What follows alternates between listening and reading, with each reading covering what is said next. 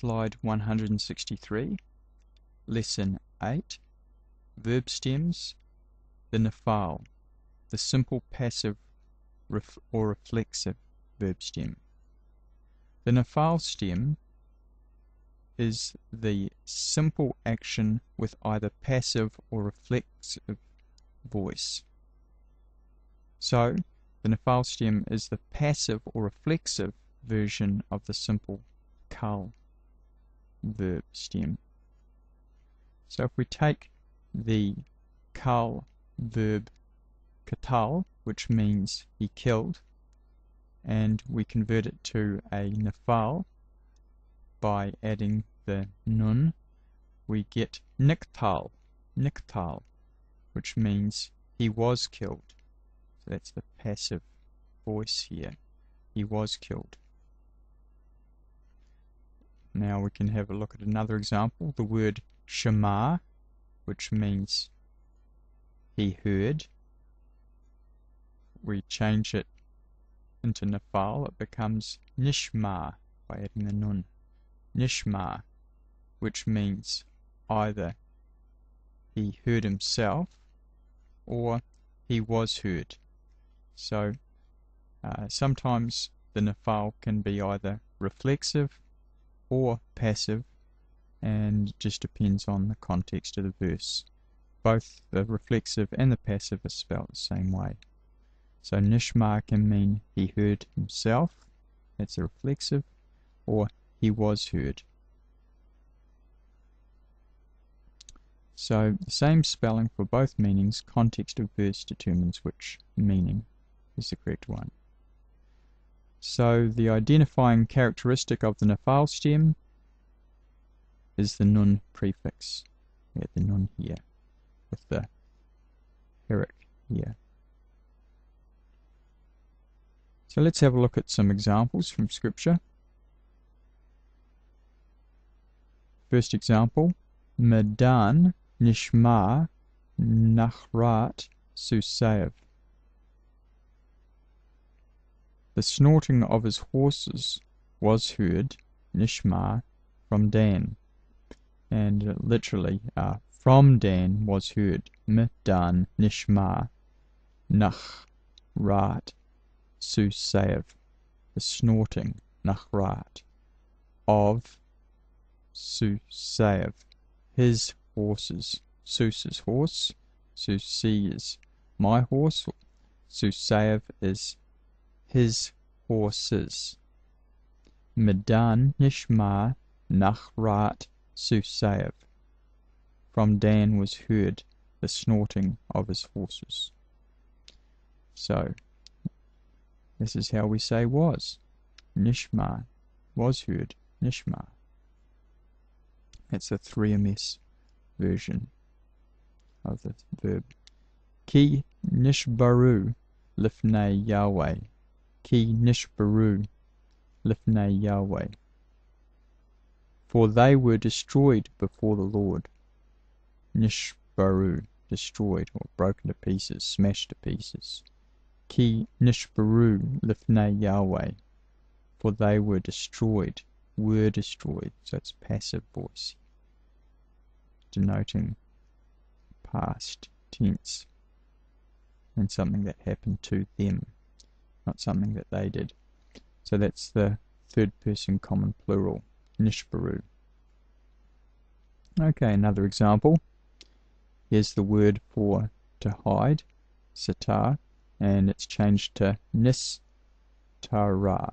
nistara. My way is hid from the Lord. You could actually say my way was hid, but it's translated is hid. Nistara is hid from the Lord. Nistara.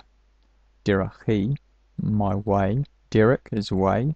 Derachi is my way. Me Yahweh, from the Lord. And that's the third person feminine singular. Nistara.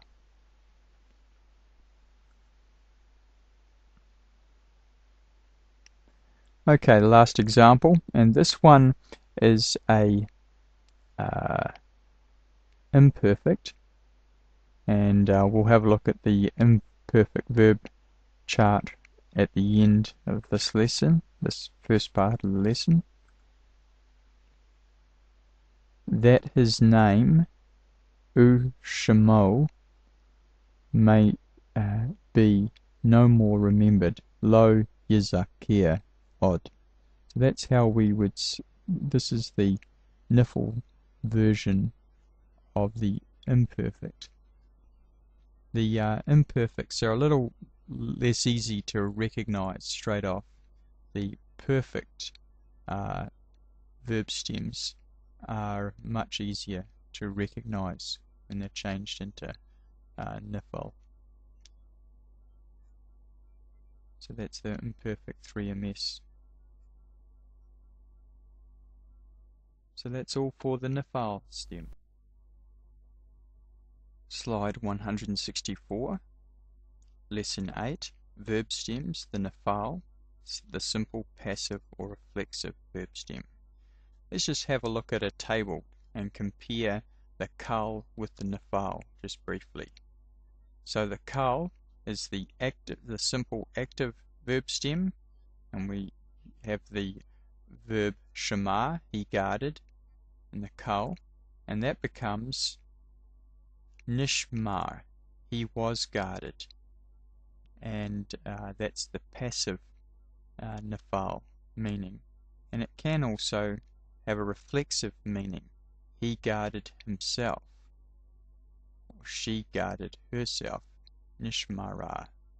So here we have shema becomes nishma. He guarded becomes he was guarded. Shamra, she guarded, becomes nishmara, she was guarded. Shamata, you guarded, becomes nishmata, you were guarded. Shamat, you guarded to a group of women, to, to a woman, becomes nishmata, you were guarded. Shamati, I guarded, becomes nishmati, I was guarded.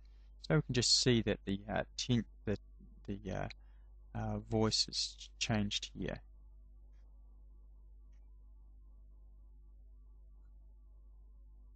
So the basic identification uh, uh, clue to a nifal is it has a nun prefix here.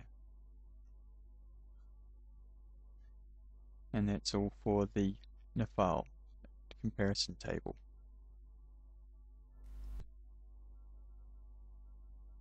Slide 165, Lesson 8, Verb stems, Piel, the intensive active verb stem. The Piel stem is the intensive form of the simple action of the Kal stem. Intensive type action with an active voice. So, the verb, the Kal verb katal, he killed, becomes katel, he slaughtered. So it's an intensive, intensive or uh, form of the simple action of the Kal stem.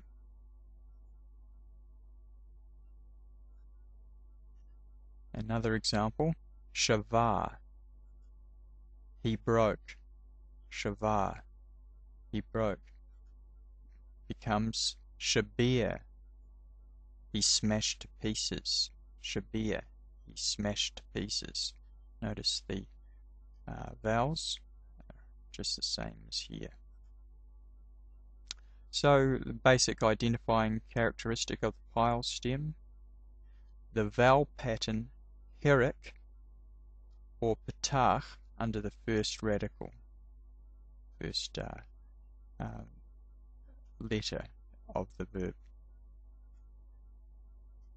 and a dagesh forte in the second radical.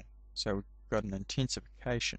So instead of a, a, a, a soft sound, shavar, it becomes a hard sound, shabir, uh, which makes sense. It's it's an intensive, it's a harder thing. It's a um, smashed is a harder, stronger word than broke. So we even have a stronger sound. Shavar becomes shabir.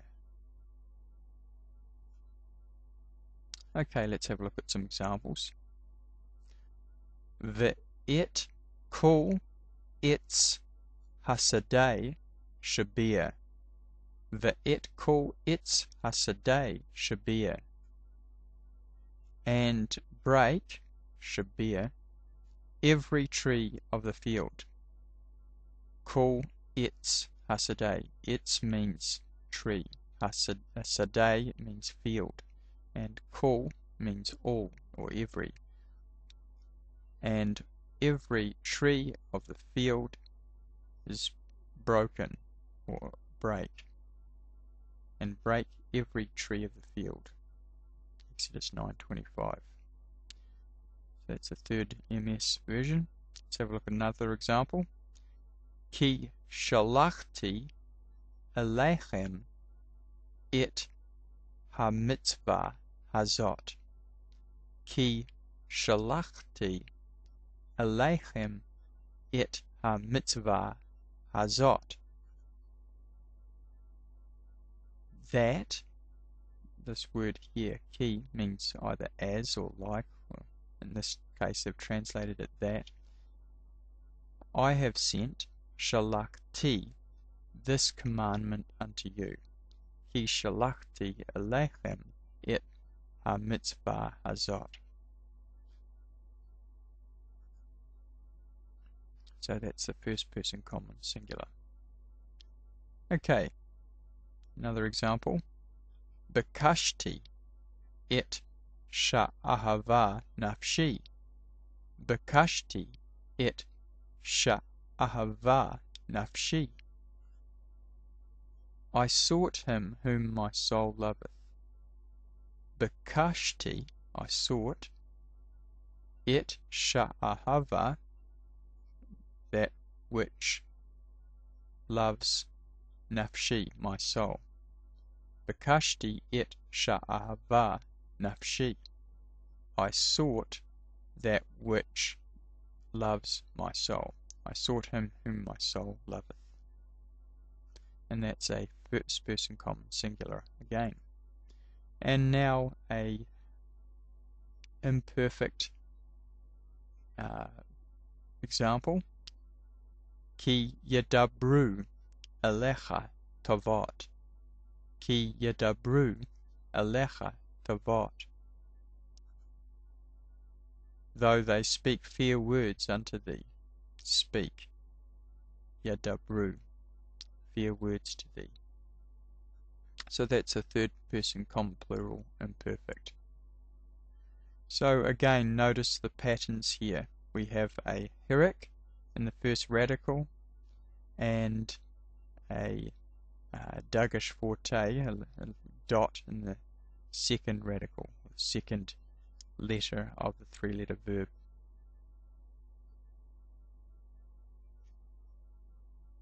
Okay.